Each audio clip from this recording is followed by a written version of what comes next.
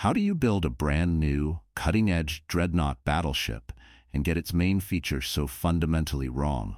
Japan managed it with the Kawachi class, and for one of the sister ships, the mistake would be the least of its problems.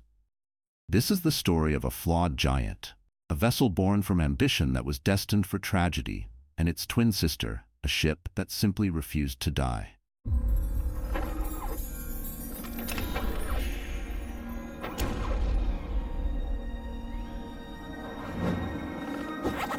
In the early 1900s, the world's oceans were a chessboard for global powers, and the most powerful piece was the battleship. The turn of the century had been good to Japan. In 1905, the Imperial Japanese Navy had annihilated the Russian fleet at the Battle of Tsushima, a victory so decisive it sent shockwaves across the globe and instantly established Japan as a premier naval power. But technology, as always, was moving faster than anyone could have predicted. Just one year after Tsushima, Great Britain launched a vessel that changed everything. HMS Dreadnought. With its all-big gun armament and steam turbine propulsion, it rendered every single battleship that came before it, including Japan's victorious fleet, utterly obsolete.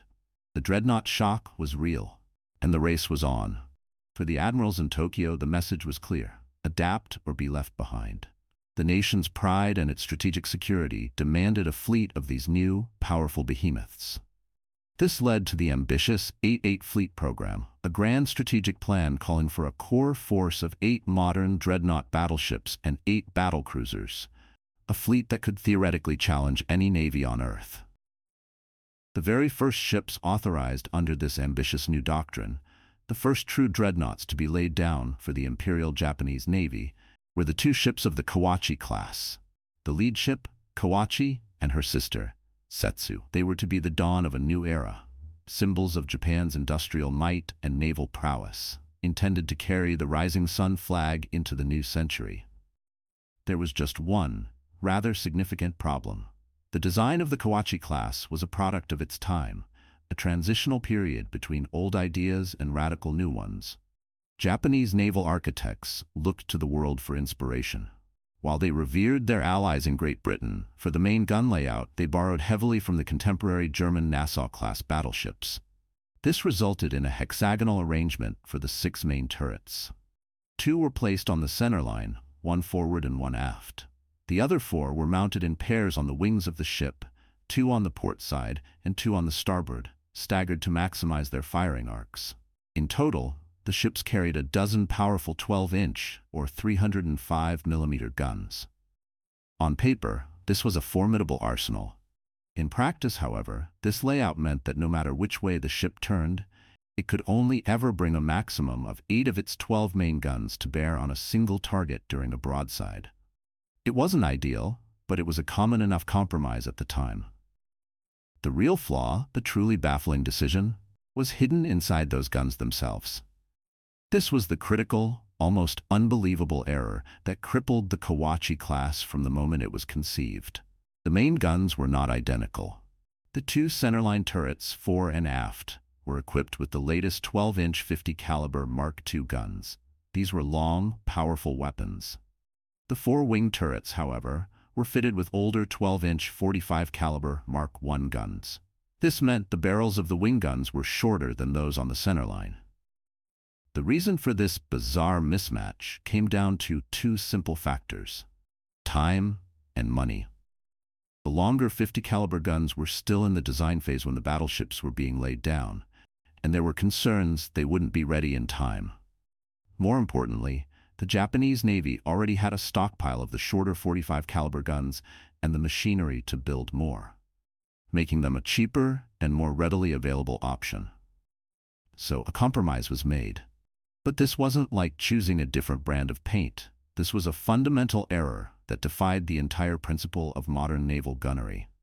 The whole point of an all-big gun ship like a dreadnought was to fire all its guns together at a distant target, creating a single massive splash pattern that could be walked onto an enemy vessel by a central fire control director. But longer gun barrels fire a shell at a higher velocity than shorter ones.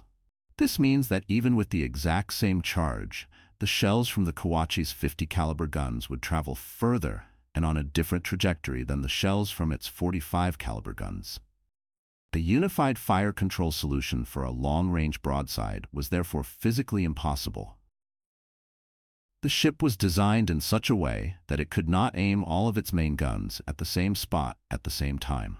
It was a remarkable achievement in self-sabotage, a battleship built with a split personality.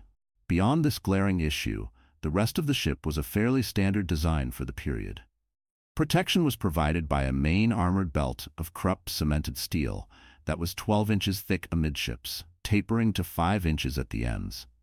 The deck armor was much thinner, at just over 1 inch, a common vulnerability in early dreadnoughts designed before the threat of long-range plunging fire was fully appreciated. Power came from 16 Miyabara water tube boilers feeding two Curtiss steam turbines, a major step up from the reciprocating engines of older ships. This power plant produced 25,000 shaft horsepower, driving the 22,000-ton vessel to a respectable top speed of about 20 knots, or 37 kilometers per hour. For close-in defense against smaller, faster vessels like destroyers and torpedo boats, the sisters carried a heavy secondary armament of 10 6-inch, 152 mm guns and 8 4.7-inch, 120 mm guns, supplemented by a dozen smaller 12-pounders. They were also fitted with five submerged 18-inch, 457mm torpedo tubes, a feature that was standard at the time, but would prove to be of little practical use. The Kawachi was laid down at the Yokosuka Naval Arsenal in April 1909, and her sister, the Settsu, followed at the Kure Naval Arsenal in January 1909. There was immense national pride as these steel giants took shape, the largest and most powerful warships ever built in Japan. Kawachi was commissioned into the Imperial Japanese Navy in March 1912, with Settsu following two months later. They officially joined the 1st Battleship Squadron, taking their place at the forefront of the nation's defense. For the first couple of years, their service was routine, fleet exercises, training maneuvers, and showing the flag. They were potent symbols of a modernizing nation. Their crippling design flaw remained a technical detail, a problem lurking beneath the surface, yet to be exposed by the crucible of battle. When war finally did come, it would prove to be a surprisingly quiet affair for Japan's premier battleships. When World War I erupted in Europe in August 1914, Japan, honoring its alliance with Great Britain, declared war on the German Empire. Germany's primary naval and colonial base in the Far East was the port of Tsingtao in China.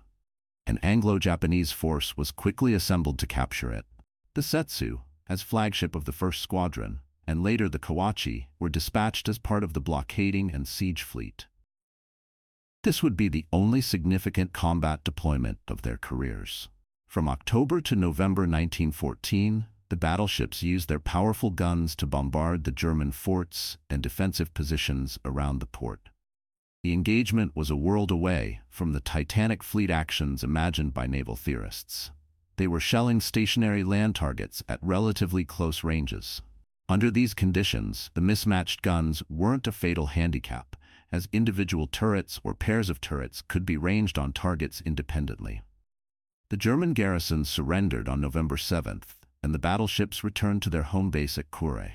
For the remainder of the long war, the Kawachi and Settsu saw no further action, spending their time on quiet, uneventful patrols in Japanese home waters, a powerful but untested force in a distant theater of the global conflict.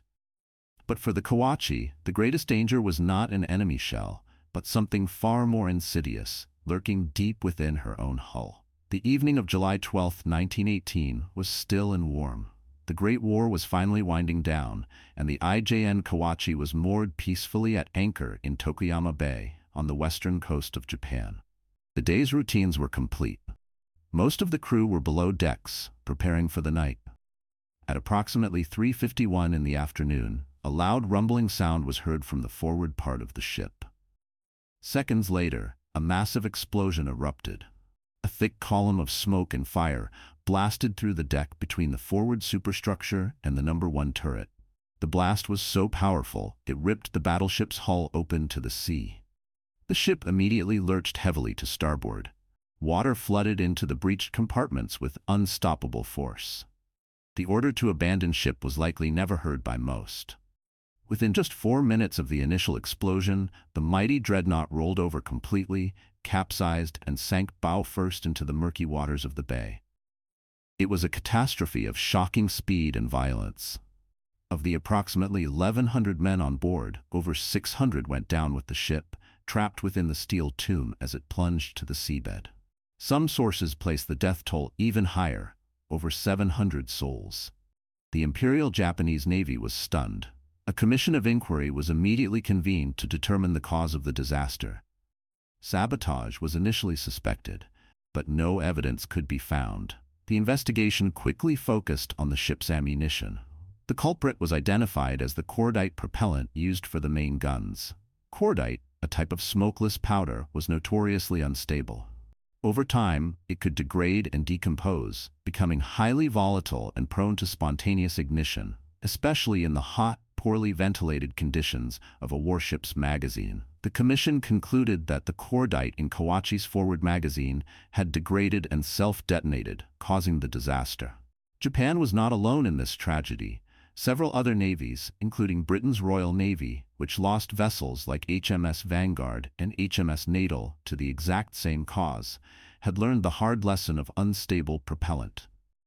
The wreck of the Kawachi was deemed a hazard to navigation, and salvage operations were carried out to clear the channel, but the majority of the hull and the remains of her crew were left on the seafloor, a permanent tragic memorial.